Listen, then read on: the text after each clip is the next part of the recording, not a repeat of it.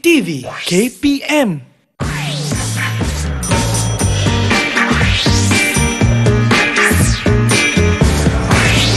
Didik TV KPM Assalamualaikum, salam sejahtera kepada semua yang menonton sukses SPM 2021 pecutan di Didik TV KPM. Saya Nisaki akan menemani anda bersama-sama calon-calon SPM 2021 khususnya uh, mempelajari ataupun mengingati kembali, mengimbas kembali segala teknik menjawab peperiksaan kelak. Baiklah, untuk mengetahui siapakah guru berpengalaman yang akan bersama-sama dengan kita berkongsi pelbagai tips dan teknik, kita saksikan profil beliau.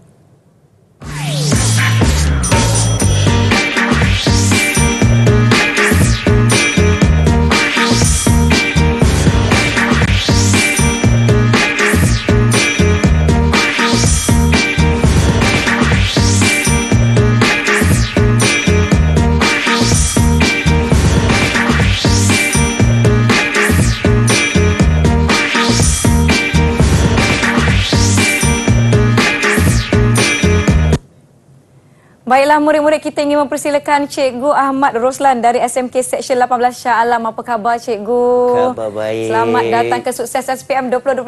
Tapi kali ini Cikgu, kita Wah. ada pecutan. Pecutan. Ya, Terima kasih Nisa. calon-calon okay. kita. Assalamualaikum pada semua calon-calon SPM 2021. 21. Hari ya. ini ada pelbagai tips dan teknik saya ya, percaya betul. cikgu hmm. nak kongsikan kepada murid-murid yang sedang menonton. Pastinya ramai dah bersedia cikgu. Ya betul. Ha dengan ha. pen dan kertas dan sebagainya. Okay. Hari ini kita akan sama-sama uh, mengimbas kembali teknik menjawab soalan bagi mata pelajaran sains kertas 2. Okey ha. bahagian C. Bahagian C. C. Ha cikgu Roslan sudah bersedia? Ya. Saya okay. rasa murid-murid sudah bersedia. Saya ingin mempersilakan cikgu. Kita pun tak nak buang masa. Silakan ya. cikgu. Terima kasih Nisa. Okey, uh, pada semua calon-calon SPM 2021, uh-huh. hari ini cikgu akan uh, bongkarkan berkenaan dengan bagaimana nak menjawab soalan peperiksaan SPM yeah. untuk kertas 2 bahagian, bahagian C. C. Okey, tapi sebelum tu Nisa, yeah. sebelum tu kepada semua calon-calon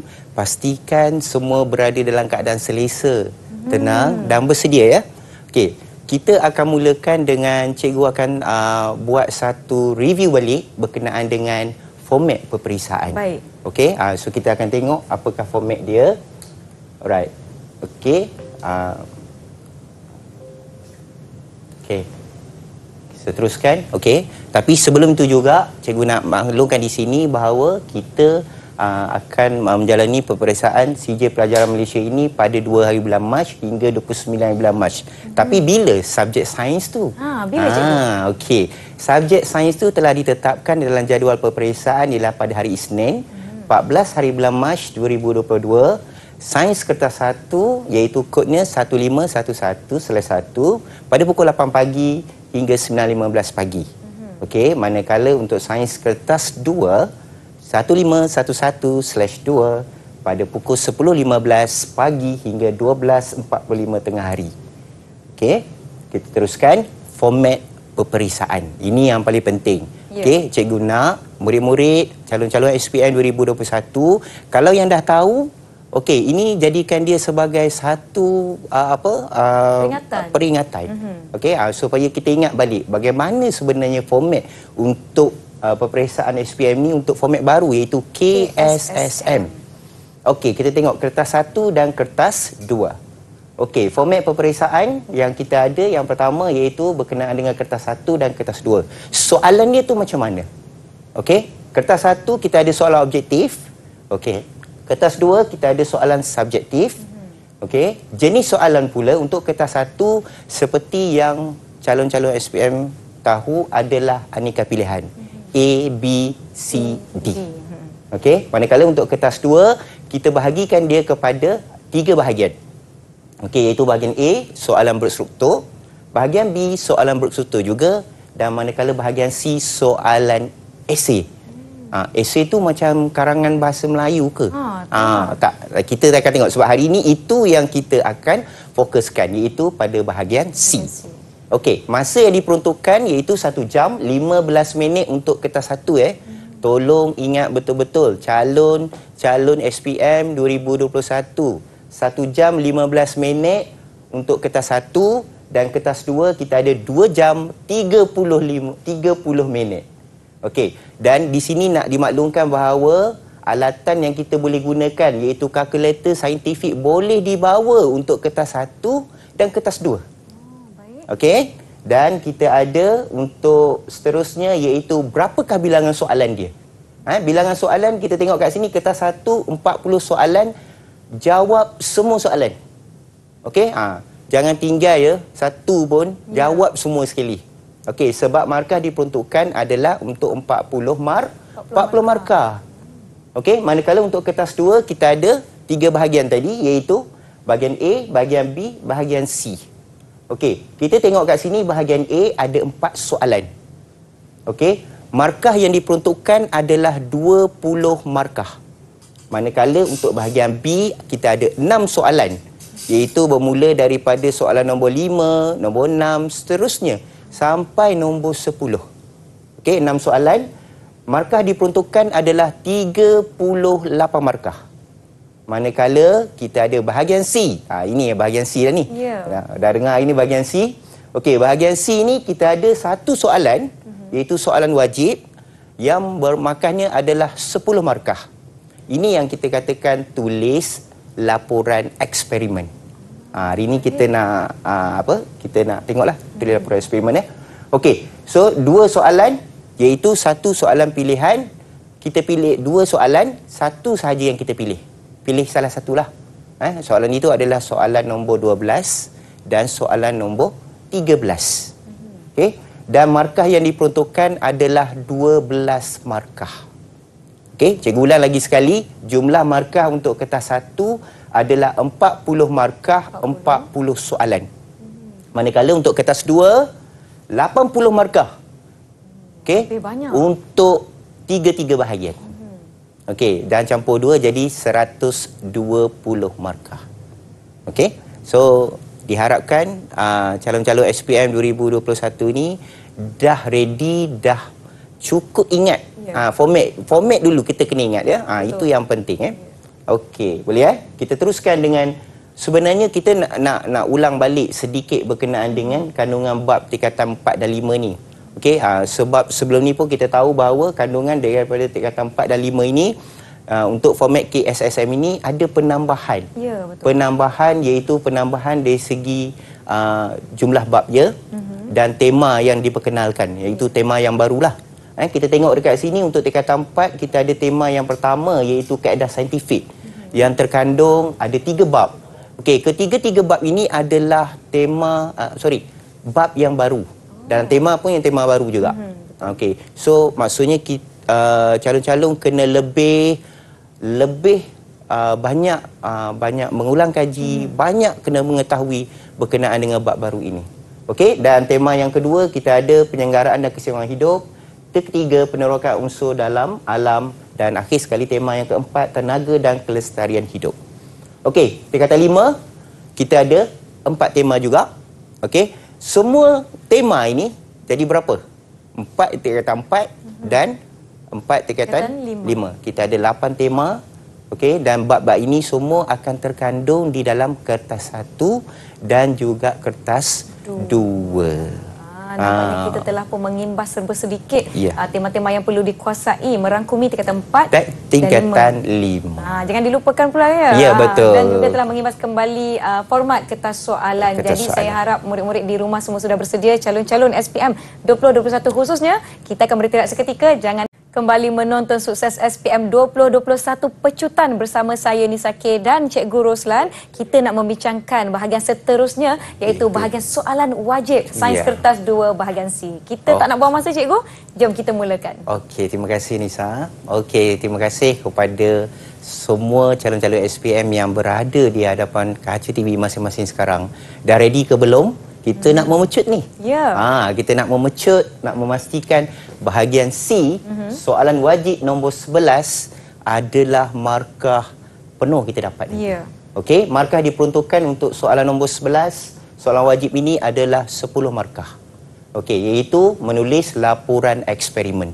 Kita akan tahu bagaimana cara yang betul, cara yang lebih tepat dan teratur untuk menulis uh, laporan ini iaitu kita akan bagi panduan dan juga teknik. Okey, kita tengok satu persatu. Okey, pertama kita kena tahu panduan.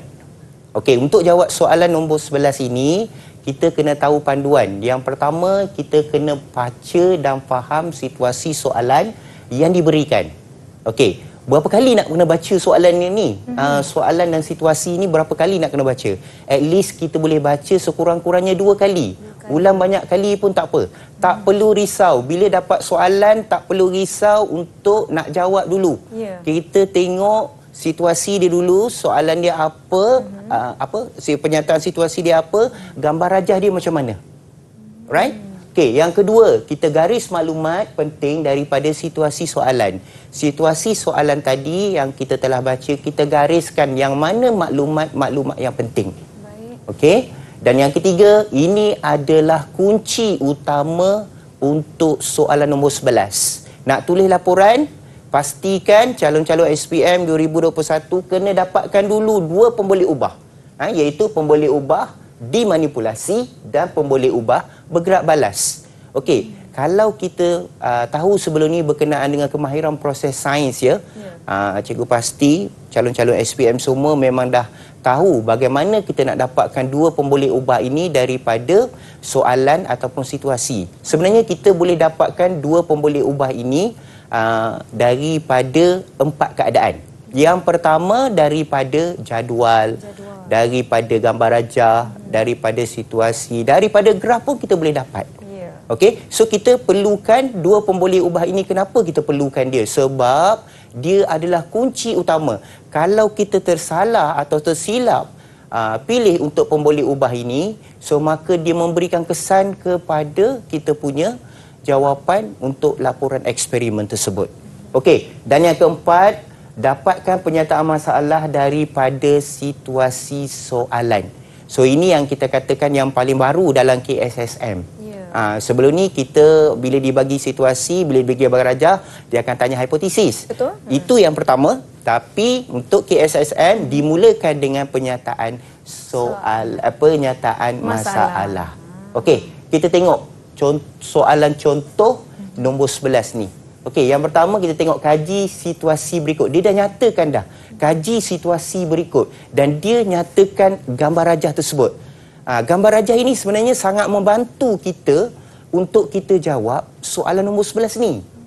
Okey, kerana gambar rajah yang diberi tadi dia akan membantu kita untuk menentukan keseluruhan laporan kita.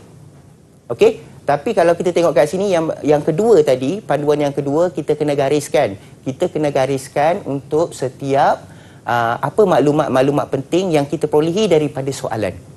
Okey. Dan untuk makluman semua calon-calon SPM 2021 ini tolong uh, ingatkan eh berkali-kali uh, mungkin cikgu di sekolah masing-masing pun dah ingatkan. Yeah. Okey.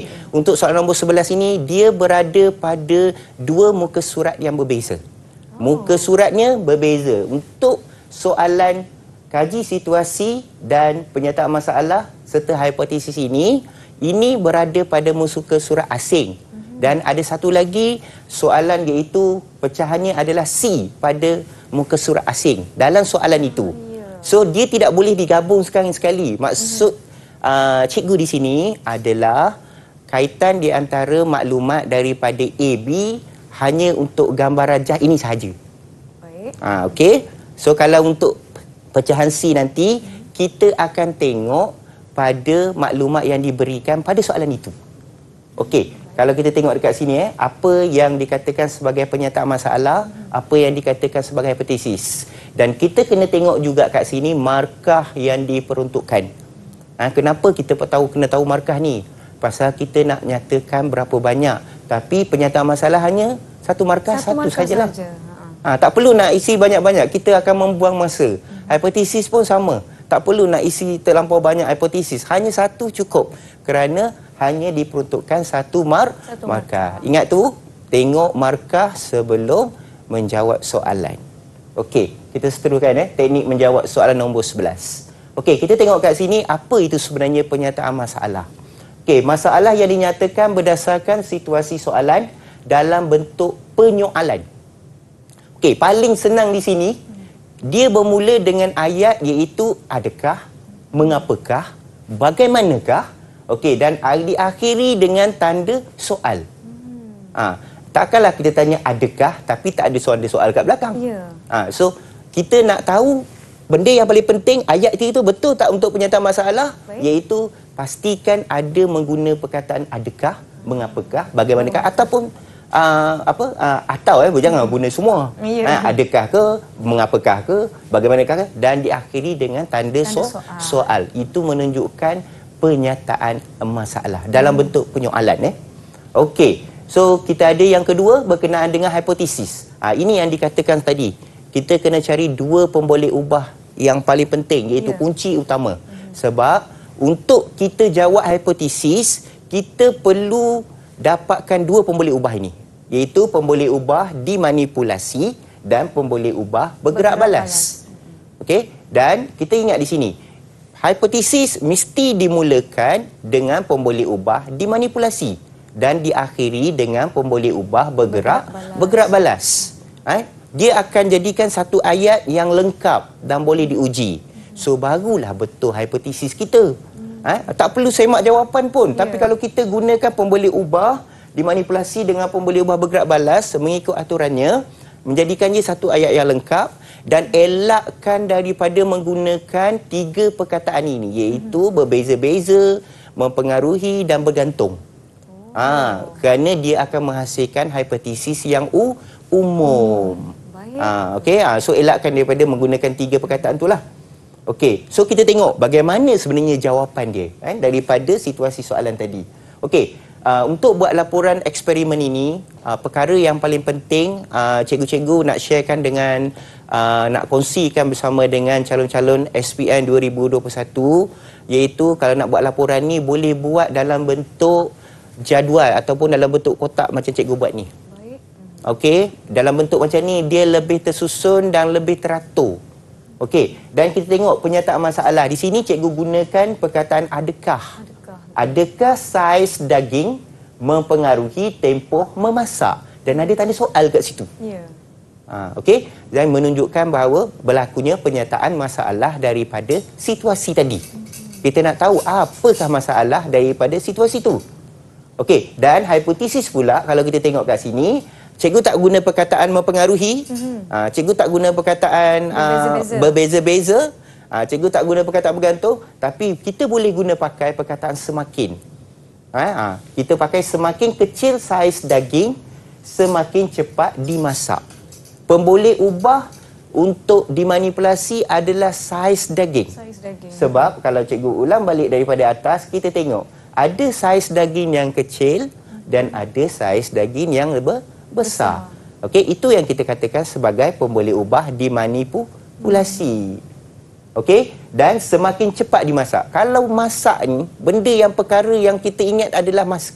Betul. Sebabnya, kalau kita nak masak satu benda tu, contohnya nak masak daging, Ya. mesti dia berkait dengan masa. Masa. Berapa lama masa yang diambil. So, itu yang kita akan hasilkan keputusan daripada eksperimen kita.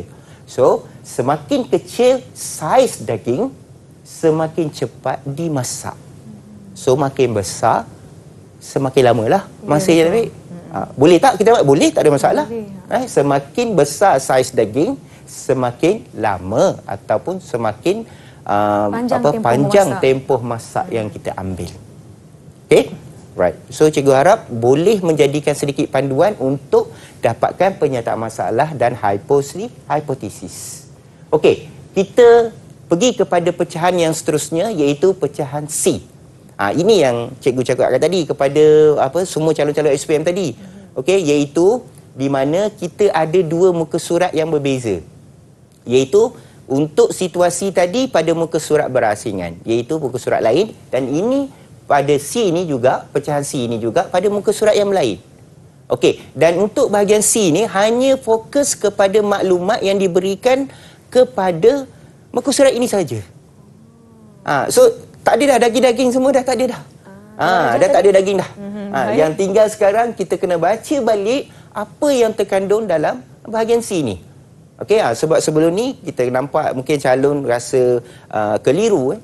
Ha, dak gabungkan masa kat sini pun ada keluar daging-daging lagi. Ya. Ha, so sekarang ni kita tak nak, kita nak Okey, dia fokus kepada helaian ini iaitu helaian yang berbeza daripada kaji situasi tadi iaitu pecahan A dan pecahan B. Okey, dan kita tengok kat sini markah yang diperuntukkan. Ha, kita nak kena tengok markah sambil kita baca kita gunakan panduan tadi iaitu kita gariskan mana-mana maklumat yang Maklumat kita penting. uh, rasa penting eh. Mm-hmm. Okey, so kita tengok kat sini berdasarkan pernyataan diberi reka bentuk satu eksperimen makmal untuk menguji hipotesis. Anda dengan menggunakan 2 gram cebi mama hancur, 2 gram ketulan mama bersaiz besar, asid hidroklorik cair, penyumbat getah, salur penghantar, kelalang kon, kaki retot dengan pengapit, buret dan jam randik. Okey, bahan-bahan ini telah disediakan. So maksudnya kita kena gunakan bahan-bahan ini untuk mereka bentuk satu eksperimen.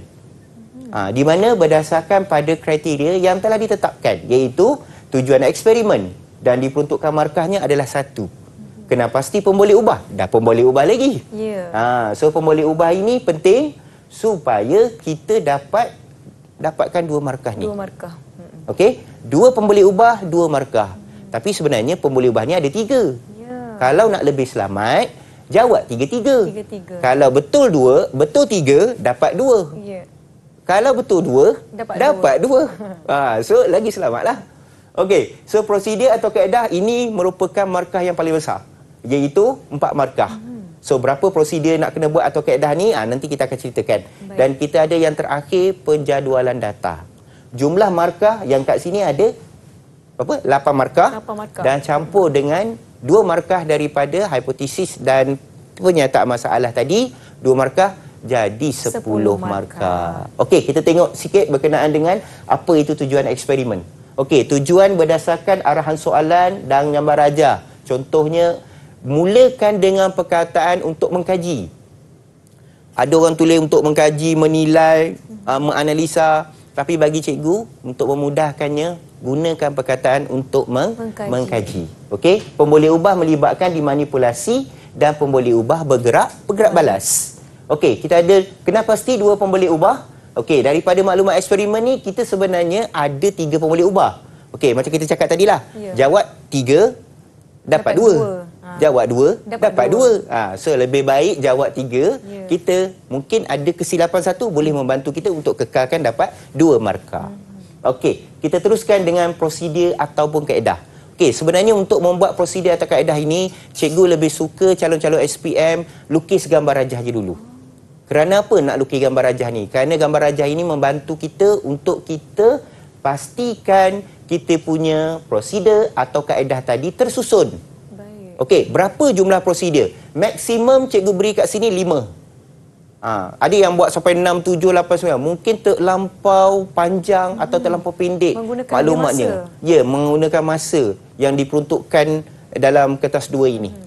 So, kita boleh buat lima. Kenapa? Markahnya empat. Betul. Kalau kita buat empat, mungkin markahnya empat, memang betul. In case kalau ada kesilapan pada prosedur kita, dia akan mengganggu markah kita. Lebih baik kita buat lima.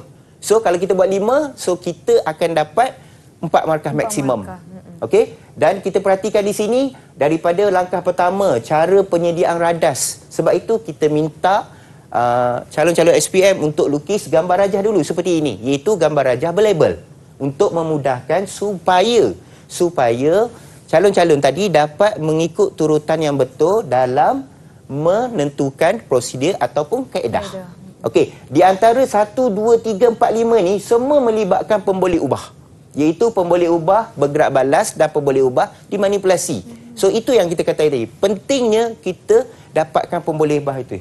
Okey, kita tengok bagaimana gambar rajah tadi dilabelkan kerana gambar rajah yang berlabel tadi membantu untuk mendapatkan markah jika prosedur dia tadi tidak tepat dengan apa yang dimaksudkan ataupun daripada ke- kehendak soalan. So gambar rajah tadi sangat membantu. Tapi dinasihatkan kepada semua calon boleh tulis kedua-duanya sekali. Lukis gambar rajah yang berlabel dan juga buat pro prosedur tadi. Okey, dan kita tengok kat sini ini adalah format laporannya iaitu ada jadual, Jadual. lebih kemas eh. Kita ada tujuan ini untuk mengkaji kesan saiz bahan tindak balas terhadap kadar tindak tindak balas. Dah pun boleh ubah tadi, cikgu ada buat tiga, okey iaitu dimanipulasi, bergerak balas dan dimalarkan. Okey, tiga-tiga ni cikgu masukkan. Eh, walaupun soalan itu nak perlukan dua saja. Tak apa, boleh masukkan satu lagi pemboleh ubah dimalarkan. Dan prosedur atau kaedah tadi kalau kita perasan, cikgu ada buat cakap lima. So ada lima-lima prosedur ini yang melibatkan yang pertama. Dan ingat untuk prosedur ini, okey, cuba untuk buat dalam bentuk ayat pasif. Okey, buat bentuk ayat pasif supaya ayat yang kita gambarkan tadi untuk boleh diuji di dalam eksperimen kita. Okey, uh, contohnya aras air ditentukan di dalam buret dan catat bacaan awal buret. So maksudnya kita nyatakan apa yang kita lakukan. Itu yang kita kenali sebagai dalam ayat pasif. Okey, dan kita ada yang seterusnya untuk pecahan C yang ketiga iaitu penjadualan data. Okey, di mana untuk penjadualan data ini memang kita nampak daripada format yang sebelum ni pun sama kebanyakannya calon-calon SPM ni sangat keliru. Sebenarnya penjualan data ini adalah merupakan paling senang untuk dapat markah lah. Nisa, paling senang untuk dapat markah. Kerana apa? Cuba tengok apa yang ditulis. Okey, kat sini penjualan data melibatkan satu jadual, buat satu kotak, bagi dua. Dan pemboleh ubah dimanipulasi untuk saiz mama. Baik. Pemboleh ubah bergerak balas adalah untuk kadar tindak tindak balas. Okey, manakala saiz mama kita dah tahu tadi dalam situasi soalan tadi Ya. dia melibatkan daripada bahagian uh, soalan pecahan C tadi ada dua jenis mama yang kita gunakan Ya. iaitu iaitu mama cebisa mama hancur dan juga ketulan mama yang bersaiz besar. Besar. Tapi jika calon-calon tadi dia tak buat cebisan mama tapi dia tulis kecil sahaja. Kecil. So dah menunjukkan cebisan tadi. So diterima. Diterima. Baik. Yes. Dan ketulan mama bersaiz besar ataupun dia tulis besar so juga diterima. Itu melibatkan uh, pemboleh ubah dimanipulasi. Ada dua keadaan yang berbeza. Satu saiz kecil, satu, Satu saiz saiz besar. Manakala pemboleh ubah bergerak balas tadi, kadar tindak balas perlu ke tulis untuk dua-dua jawapan ni? Tidak perlu, perlu. sebenarnya. Tinggalkan sahaja kosong. Tak perlu bersusah payah untuk mencarikan jawapannya. Hanya buang masa sahaja Ya. yang diperuntukkan. Jadi hanya penjaduan data sebegini saja. Sebegini sahaja, Untuk cukup ringkas markah. sahaja untuk mendapat markah iaitu satu markah iaitu markah yang ke-10 daripada soalan nombor 11. Ah, soalan nombor 11 ada 10 markah dan begitu padat Cikgu Roslan telah kongsikan panduan dan. Ya. teknik untuk mendapatkan markah semaksimum mungkin Semaksimum kalau boleh dapat mungkin. markah penuh lah Markah Cikgu penuh ya. yang kita nak. Ah, jawab Ah, lebih 10 sekiranya markah, ya. yakin. Ah, kalau Hmm. yakin ada maklumat yang betul, jawapan yang betul, jawab lebih tidak mengapa. Mana tahu dapat membantu anda mendapatkan ke-10 10 markah yang tadi. ada. Banyak Ya. lagi panduan dan teknik. Yes. Cikgu Roslan nak kongsikan calon-calon SPM 2021 nampaknya kita nak berehat seketika jangan ke mana-mana kembali selepas ini di Didik TV KPM. Ya. Didik TV KPM Masih menonton sukses SPM 2021 pecutan mata pelajaran sains kertas 2 bahagian C. Saya tak nak buang masa, kita terus beri laluan kepada Cikgu Roslan untuk teruskan berkongsi panduan dan teknik menjawab. Silakan Okey, Cikgu. terima kasih Nisa. So kita pergi kepada bahagian C Mhm. iaitu soalan nombor 12 pilihan. Uh, kenapa nama dia pilihan? Mhm. Sebenarnya uh, kita ada uh, soalan nombor 12 ini adalah uh, mempunyai ada dua soalan Baik. pada bahagian C iaitu nombor 12 dan nombor 13. Hmm. So uh, kita akan sentuh untuk soalan pilihan jika bentuk soalan ini Mhm. uh, yang apa uh, yang kita tengok nanti sebagai contohnya. Ya. Okey, ini adalah bentuk pecahan dia dan uh, apa soalan pilihannya adalah menilai. Okey, uh, cikgu tak katakan bahawa ini soalan yang akan keluar untuk soalan nombor 12 pilihannya adalah menilai. Baik. Uh, jika soalan itu adalah menilai keluar nombor 12, ini adalah bentuknya. Baik. Okey, iaitu dia mengandungi ada biasanya dia ada empat pecahan iaitu 12A, 12B, 12C, 12D. Ah, dan mengikut pecahan-pecahan ini, soalan-soalan ini arasnya ada aras soalan ni semakin tinggilah. Ha, soalan semakin lagi semakin lama markahnya adalah semakin besarlah. Ha, mungkin untuk 12A markahnya adalah uh, kecil. Ha, sampai kepada 12D itu makin lama makin besar. Okey, markah diperuntukkan untuk soalan nombor 12 pilihan ini adalah 12 markah. 12 markah. 12 markah. Eh, kita tengok sama ada adakah statik pecahan soalan macam ni? Tak. Ha, ada mungkin sampai 12A, 12B dan 12C. Tapi sekurang-kurangnya ada tiga pecahan yang akan ada. Baik. Okey, kita tengok eh. Menilai. Apa sebenarnya menilai? Okey, dapat menyatakan dan menerangkan penilaian jawapan yang bersesuaian dengan situasi yang diberikan. Okey, jika ada satu soalan yang diberikan berdasarkan gambar rajah, berdasarkan situasi, okey, dan kita dapat menerangkan penilaian kita berdasarkan pada gambar rajah dan situasi tadi. Baik. Berdasarkan kepada tekniknya adalah menyata dan menerangkan. Ah, cukup mudah menyata dan menerangkan. Okey, apa yang kita nak nyatakan terangkan itu dia akan berkait rapat dengan pecahan B iaitu sama ada kita akan buat perbandingan jika contohnya diberikan dua gambar rajah yang berbeza okey dia akan buat minta kita untuk buat perbandingan okey apakah perbandingan-perbandingan di antara kedua-dua gambar rajah tersebut dan untuk pecahan C biasanya dapat menerangkan kelebihan dan kekurangan berdasarkan pada penilaian jawapan yang bersesuaian Okey, kita tengok apakah panduan dan teknik yang kita akan gunakan di dalam soalan pilihan nombor 12 ini. Okey, panduan menjawab. Okey, calon-calon SPM boleh tulis, uh, boleh ingat. Ini sekurang-kurangnya boleh membantu calon-calon untuk jika memilih soalan nombor 12. Ya. Okey, yang dia punya bentuknya atau konsepnya adalah menilai. Eh, ah, kita tak katakan bahawa nombor 12 keluar menilai. Mm-hmm. Tapi mungkin juga uh, keluar yang lain selain yeah. daripada menilai. Tapi jika keluarnya ini adalah panduan yang kita boleh gunakan. Okey, kita tengok baca dan faham soalan diberikan. Okey, garis maklumat penting daripada soalan. Ini sepatutnya calon-calon semua biasakan dengan ini. Kena kena buat semua ini. Kerana dia dapat membantu supaya apa yang kita baca tadi kita fokus kepada maklumat-maklumat penting sahaja daripada soalan ataupun daripada gambar gambar raja. Okey, pastikan jawapan yang ditulis mengikut peruntukan markah diberikan. Ini salah satu uh, panduan yang patut calon-calon berikan perhatian yang khusus kerana markah itu penting untuk kita tahu berapa banyak jawapan yang perlu kita jawab. Betul. Uh, berapa banyak jawapan yang perlu kita tulis. Eh, supaya kita jangan mengganggu masa kita untuk menjawab soalan kertas uh, 2 bahagian C. Eh. Baik. Okey, so kita tengok buat jawapan dalam bentuk jadual. Okey, kalau kita maklum sebelum ni bahagian C ni adalah soalan bentuknya esei. Tapi mungkin esei itu adalah berbentuk karangan bahasa Melayu seperti karangan bahasa Melayu. Bukan, sains uh, cuba elakkan daripada buat karangan macam tu, tapi boleh buat dia dalam bentuk jadual. Okey, kerana contohnya kita ada perbandingan, kita ada persamaan dan perbezaan. Eh. Cikgu akan menunjukkan satu contoh. Okey, iaitu soalan contoh soalan nombor 12 iaitu berkaitan di antara dua rajah iaitu 12.1 dan 12.2 tindak balas nuklear. Ha, ini merupakan tajuk tajuk yang apa uh, apa tajuk yang teka, daripada tingkatan 4 hmm. uh, yang boleh dikatakan tajuk yang terakhir yang biasa kalau kita tengok dalam soalan ini merupakan melibatkan satu gambar rajah uh, yang lebih daripada satu. Maknanya ada satu perbandingan satu gambar rajah dengan satu gambar rajah. Kerana untuk bab ini dia melibatkan dua jenis proses.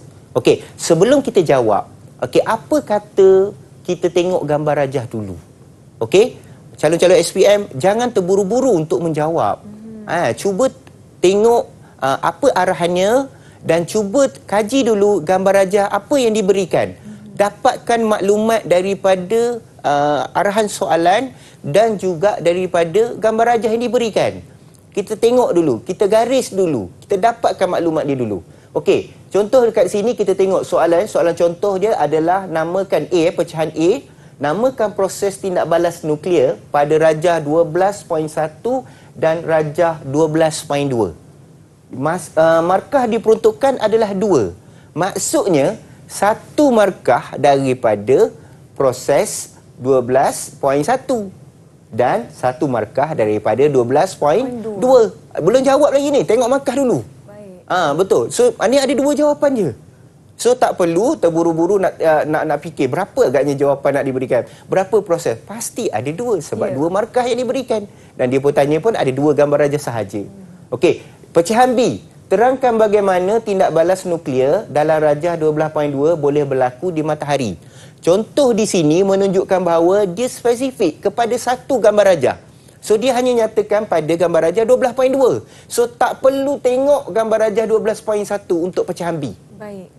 Ha, okay? Dan dia nyatakan di sini bila berlaku di pada matahari. So kita tahu matahari merupakan sumber tenaga yang terbesar di galaksi. Ya. Besar. Mungkin di segi tenaga yang dihasilkan begitu banyak cahaya eh uh, ataupun apa dia punya uh, apa uh, tenaga luaran dia, hmm. uh, dia memberikan kesan kepada uh, planet-planet yang sekitarnya kan. So maksudnya besar eh. Okey, dan markah diperuntukkan di situ adalah dua dua markah. So maksudnya dua markah yang perlu kita terangkan.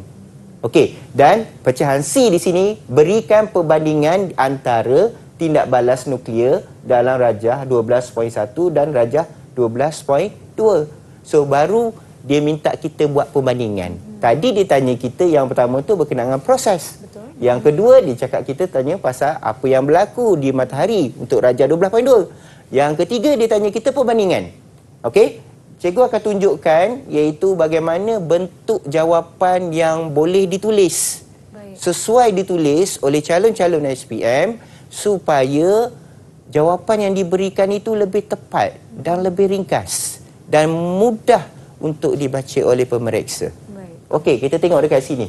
Okey, jawapan yang diberikan adalah okey, boleh tak nak buat kotak macam ni? Boleh. Tapi tolonglah jangan buat markah ni. Ha, markah ni tak perlulah sebab cikgu nak tunjuk bahawa ni saya kat sini berapa markah yang diberikan untuk jawapan. Baik. Tapi boleh ke nak buat kotak ada soalan, ada jawapan? Boleh. Sangat dibolehkan kerana memudahkan lebih kemas, lebih cantik, lebih teratur. Okey, dan kita tengok dia nak dua proses tadi. Cikgu nyatakan dengan secara ringkasnya, Rajah 12.1 proses dia apa? Pembelahan nuklear. Rajah 12.2 pelakuran nukleus. Dan markah diperuntukkan adalah satu-satu. Cukup dua. Cukup. Tak perlu nak buat uh, apakah proses apa semua. Tak perlu. Hanya menyatakan 12.2 apa jawapannya. Ya. 12.1 sorry, 12.1 apa jawapannya. Rajah 12.2 apa jawapannya. Cukup memadai untuk mendapat dua markah. Dua markah. Hmm. Manakala untuk pecahan B tadi dia tanya apa yang berlaku di matahari untuk 12.2. Okey, kita boleh nyatakan seberapa banyak sebenarnya. Kita boleh nyatakan empat. Kita boleh nyatakan jawapannya. Okey, tapi maksimum markahnya adalah dua sahaja. Tapi yang seperti kita tahu tadi, kalau namanya matahari, tenaganya besar, suhunya tinggi, okey, menghasilkan dia. Sebenarnya itu kita boleh um, apa buat dari segi pengetahuan kita. Baik. So kita boleh dapat jawapan dengan mudah dan markah yang diperuntukkan iaitu dua markah kita boleh dapat dengan lebih mudah. Okey, ha, untuk mengelakkan kehilangan markah. Tapi nak jawab empat boleh, tak ada masalah. Tapi maksimum dua. Dua markah. Okey, kita pergi kepada pecahan C. Ini yang dikatakan sebagai perbandingan.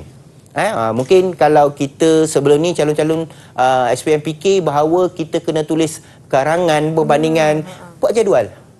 Cukup mudah. Buat jadual, buat perbandingan. Bila nama perbandingan, ada persamaan, ada perbezaan. Okey, kita boleh nyatakan untuk persamaan apa, perbezaan dia apa dalam bentuk jadual. Dan ayatnya pun pendek-pendek je. Tak perlu nak huraikan ayat yang begitu panjang sehingga kan mengambil masa kita. Ya. Kita hanya boleh kita istilahnya kita boleh pakai letak point saja. Ya. Pun kita dah dapat markah. Cukup senang untuk dapat markah. Okey, ha, tak susah nak dapat markah eh. Dan kita tengok dekat sini, markah diperuntukkan adalah empat markah maksimum. Okey, empat markah maksimum. Tapi kalau kita nak lebih dari nak tulis daripada empat markah, tetap kita akan dapat empat markah sahaja. Buat jadual lebih mudah, lebih selamat, lebih cepat dapat markah. Okey, ha, lebih cepat nak kata markah tu nak kata nak kita punya, ha, buat dalam bentuk jadual. Ya. Lagi senang ya. Okey, so kita ada pecahan yang terakhir dalam contoh soalan nombor 12 ini adalah pecahan D. Okey, jika ada pecahan ini merupakan uh, mungkin markahnya lebih besar juga iaitu dalam bentuk uh, iaitu empat markah dalam bentuk satu gambar rajah yang berbeza. Baik. Ha, uh, sebab kalau kita ikutkan untuk soalan nombor 12 ini dia punya pecahannya itu uh, mungkin dalam satu bab ataupun dalam satu tajuk. Kemungkinan juga tajuknya berbeza. Ha, itu kita tak pastilah. Uh, tapi yang kita tahu bahawa jika tajuk yang sama dia uh, akan memberikan mudah kita untuk uh, mengetahui berapakah jawapan yang untuk kita uh, tulis Baik. dan markah yang kita akan perolehi. Okey, cuba tengok pada gambar rajah ini nampak sangat uh, apa sangat complicated ya. Ini nampak merupakan kompleks, cikgu. uh, kompleks eh. Ya. Okey, sebab nampak ada nombor satu, nombor dua. Uh, sebenarnya kalau kita tengok pada gambar rajah itu, itu adalah susunan atur bagaimana uh, dia punya uh, rajah ini dia berfungsi. Mm-hmm. Yang bermula daripada nombor satu, nombor dua, nombor tiga, nombor empat. Cuma dia tanya soalan itu adalah pendapat anda apakah kelebihan kekurangan sekiranya stesen jana kuasa ini digunakan sebagai sumber tenaga elektrik di Malaysia. Uh, so kalau kita tengok ini adalah berkaitan dengan penghasilan tenaga uh, tenaga elektrik. Okey iaitu menggunakan uh, apa uh, okay, reaktor nuklear eh. Okey adakah dia sesuai digunakan di Malaysia? Uh, sebab kita kita tahu bahawa kita menggunakan empangan hidro eh Ya, sebagai sumber tenaga elektrik. Mm-hmm. Tapi nak tukar kepada reaktor nuklear tu adakah sesuai? Mm-hmm. So dia tanya daripada soalan ini.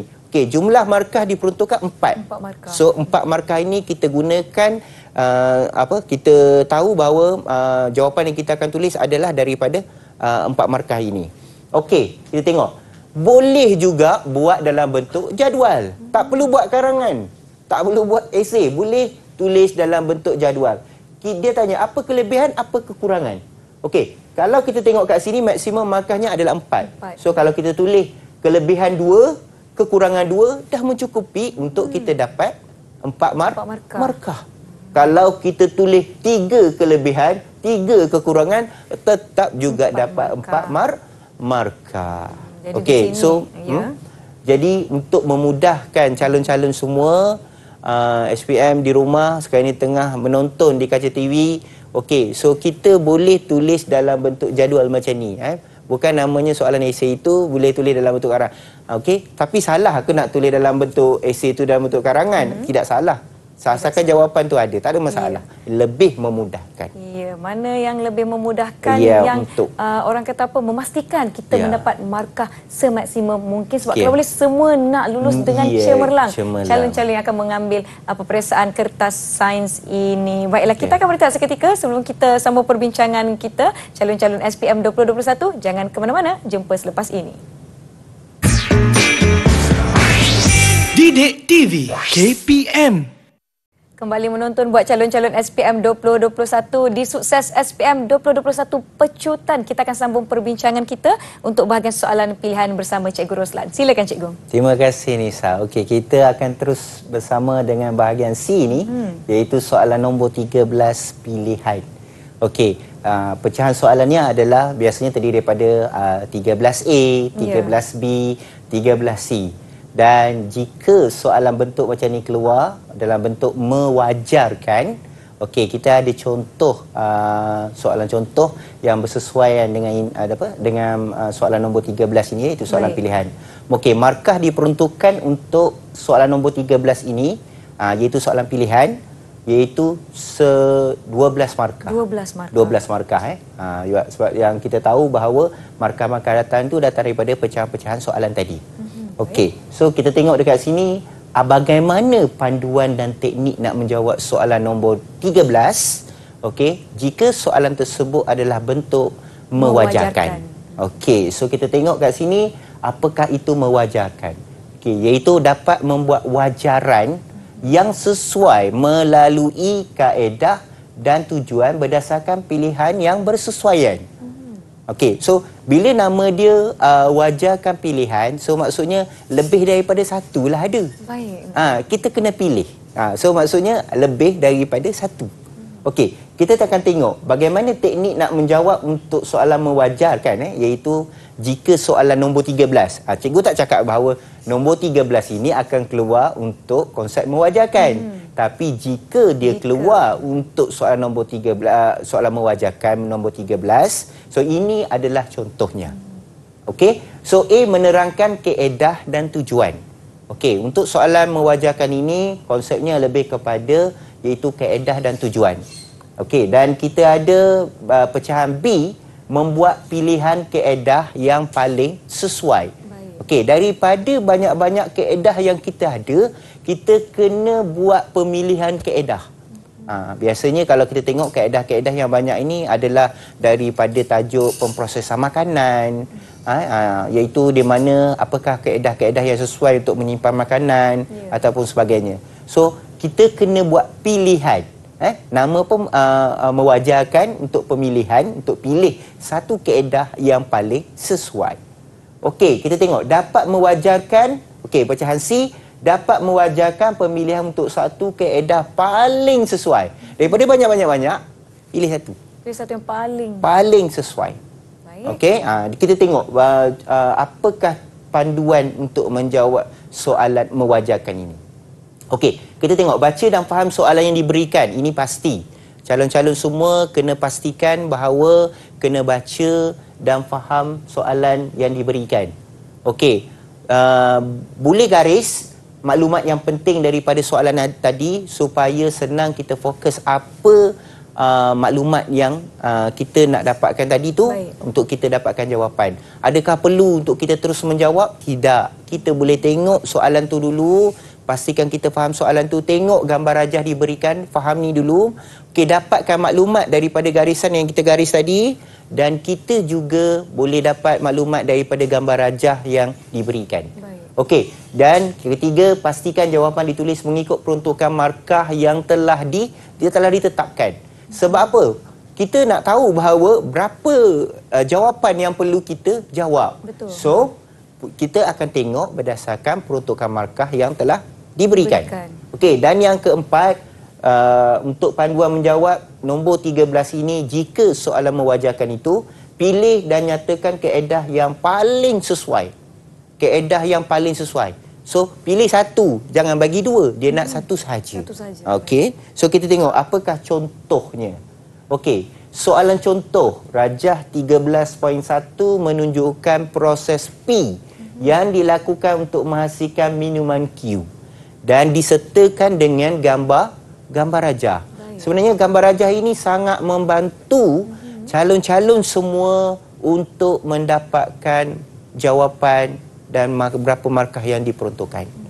Okey, gambar rajah ini sangat membantu uh, untuk mendapatkan jumlah jawapan yang nak ditulis uh, pada uh, jawapan yang uh, pelajar tadilah, uh, murid-murid tadilah. Okey, kita tengok pecahan A.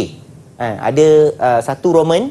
Okey, daripada pecahan A itu dia pecahkan lagi, lagi kepada satu Roman, pecahan satu iaitu terangkan keedah proses P dilakukan untuk menghasilkan minuman Q.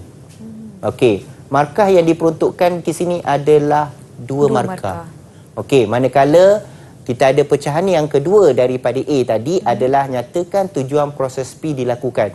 Dua markah. Baik. So, maknanya dua jawapan yang kita kena berikan. Ya. Manakala untuk pecahan yang awal tadi A, satu tadi, hmm. juga dua, dua, dua markah. Jawab. Kita tengok bagaimana jawapan tadi diberikan. Okey, yang pertama kita tengok kat sini adalah kita boleh tulis dalam bentuk jadual. Okey, dan tak perlulah tulis tak markah ni ya. Ha, tak perlulah tulis markah ni sebab ini uh, cikgu nak tunjukkan kepada calon-calon hmm. semua yang ada di rumah sekarang iaitu markah berapa untuk jawapan yang diberikan. Baik. So, kita boleh tulis soalan berapa, jawapan dia apa. Okey, dan kita boleh di sini bahawa dia nak kaedah proses P tadi. Hmm. So, kita ada dua jawapan dan diperuntukkan dua markah. markah. Okey, di sini kita tengok jawapan diberikan satu minuman dipanaskan pada suhu 63 darjah Celsius selama 30 minit. Ini kita kena bacalah. Baik. Kita kena ingatlah. Mm-hmm. Ha kalau contohnya dia bagi uh, 63 darjah Celsius selama 40 minit, mm-hmm. so akan ada masalah lah ya. Okey, ha, so dia tengok pada kita punya jawab apa maklumat kita juga, okey? Dan kita dapat dua markah jika diberikan dan dua jawapan. Mm-hmm. Manakala 13A2 pun sama okey menerangkan tujuan proses P tadi dan di sini maksimum dua markah ya. walaupun kita berikan jawapannya em, empat. empat. Anak bagi lima pun boleh tapi maksimum tetap dua mar dua markah. Okey, ini contoh uh, sorry, soalan contoh untuk B. Okey, daripada awal tadi cikgu dah terangkan kepada calon-calon semua sila pastikan tengok soalan dia dan tengok juga gambar rajah. Baca arahan soalan tadi dan juga baca penerangan soalan tadi dan gambar rajah tadi akan membantu bagaimana nak mendapatkan jawapan. Ha? ha jangan nak ya, fikir lah. Dekat dalam soalan tu sebenarnya dah jawapan berdasarkan yeah. memang dah ada. Ada hint kepada gambar rajah tersebut. Okey, dan markah diperuntukkan adalah empat empat markah. markah. So kita tengok bagaimana jawapan yang ditulis dalam bentuk jadual juga. Okey, dan kita tengok kat sini ah, banyak jawapan ke dia nak uh, kaedah dan juga apakah penerangan dia. Baik. Kita nak jawab untuk dua empat markah. Okey, kita boleh bagi satu kaedah, kita bagi satu penerangan.